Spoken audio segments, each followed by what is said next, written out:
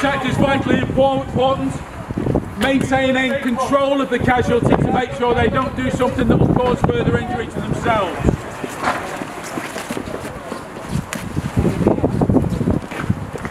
That's rescue, Chris. That is a quick extrication in order to pass them over to medical services at the earliest opportunity. Gonna check for some airway. Unfortunately, the physical impact of many RTCs causes the vehicle doors to buckle, making it almost impossible to open normally.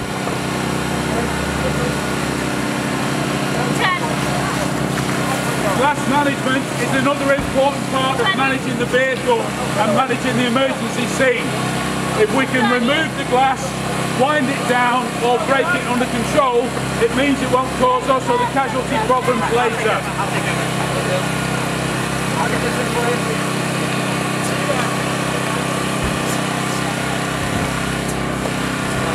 will see that the cadets are using a team approach, working together and mutually reliant. 28, 29, 30, go.